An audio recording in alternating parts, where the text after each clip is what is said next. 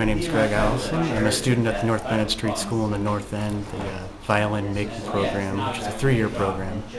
Um, initially got got started in building guitars actually in high school.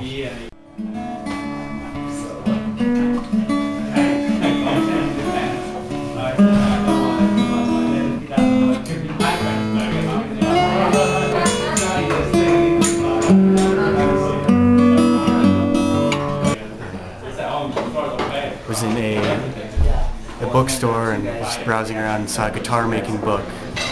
And it kind of caught my eye and I bought it on a whim and started writing around to different repairmen and builders in the area and seeing if I could get some sawdust on my hands and lucked into being able to work with a fellow named Julius Borges who's a world-renowned guitar builder.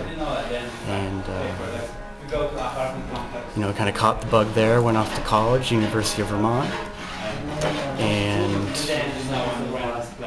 my mother actually ended up getting cancer in my junior year of, uh, of school there. And it became harder and harder for me to stay away from home, so I decided to move back home and try to get a job and go back to school. And uh, we saw this as an opportunity to, you know, at least apply to the violin making program just to see what would happen.